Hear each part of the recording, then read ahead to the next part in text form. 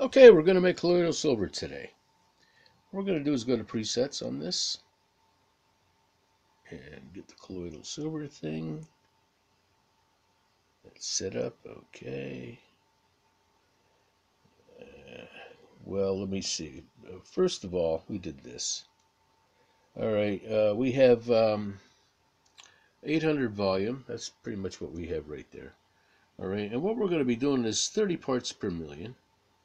All right, we got uh, uh, 2 milliamps, 0.2 milliamps, I should say. The duration in minutes is 1800. All right, well, which is basically 30 hours. Well, what we're going to have to do here is uh, go to uh, the programs and the dwell multiplier. We're going to alter that. What was that, 1800? 1800. You see that down there? That way when we go to control, we, uh, come on, and there we go. Okay, um, there we go. There's your dwell. This is going to take 30 hours. It's going to take better than a day to do. Okay, so what we do here is we just go down and waveform. Spooky 2 is running. And as we speak, we uh, we've started the process.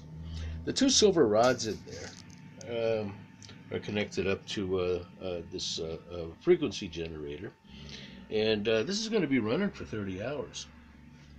The reason for that is we want to get the best possible stuff out of this. There's essentially the waveform from beginning to end, and uh, what's going to happen is it's going to build an amplitude until it gets to a point, and then it's going to drop down. This way, you're going to get uh, some pretty good stuff. Uh, this is going to be nanoparticles in here. Uh, before, I was uh, happy with microns, but we're talking um, a grain of rice compared to a boulder, there's a mega difference there. Uh, uh, a nanoparticle is a thousand times smaller than a micron, and a micron is pretty damn small. Micron possible to get airborne. Um, uh, nanoparticles, yeah, they will too. And unless it's in a solution of water or something like that, nanoparticles are pretty dangerous. They'll, they'll stay airborne. They'll go through anything, which is what we want this stuff to do. We want this stuff we want this stuff to go, uh, you know, right into to the cellular cellular level. Okay, so what we're going to do is we're going to let this thing go for about 30 hours, and uh, going to do a few tests on it.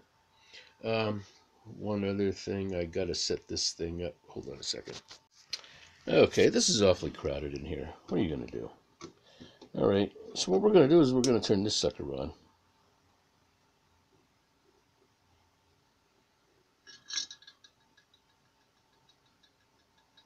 Okay, you see that?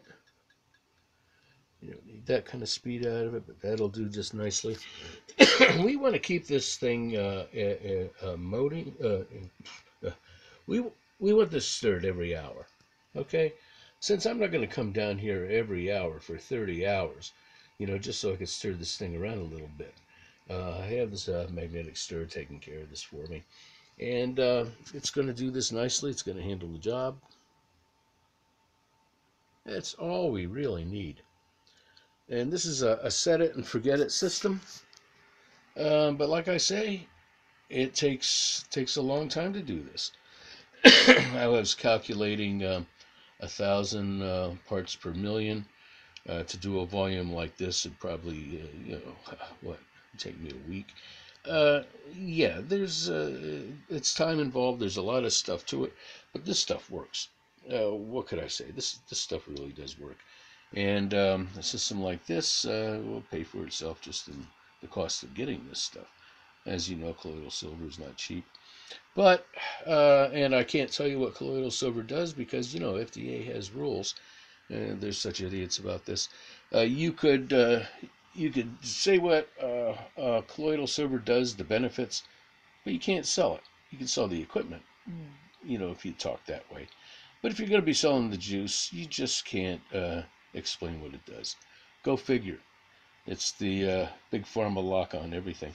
Um, I'll get back to you in 30 days and uh, we'll take it from there. Okay, um, I ran this thing for 30 hours. I wasn't so crazy about it. Um, uh, using uh, the laser with it, uh, it just didn't really show up as bright as I'd expect it to. Uh, the total dissolved uh, uh, meter I used, you know, showed five. Well, that's kind of ridiculous. I was shooting for 30. All I got was five. It's kind of ridiculous.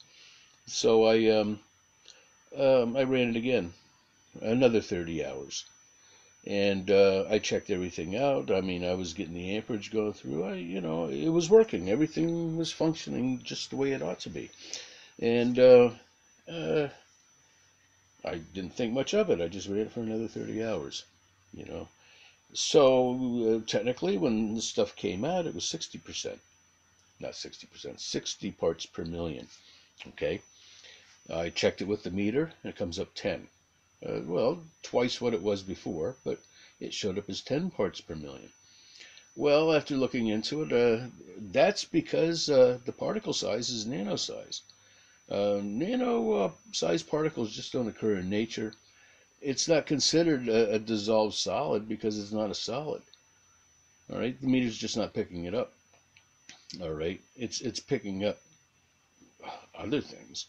Okay, uh, in the forms of larger particles, maybe nano or uh, maybe uh, um, um, you know much larger than a nano micron size, maybe slightly larger than micron, but there's a, a lively mix of uh, sizes in here.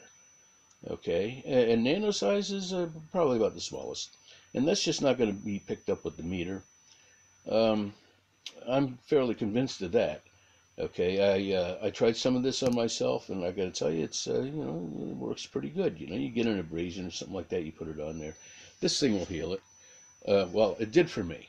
That's all I could say.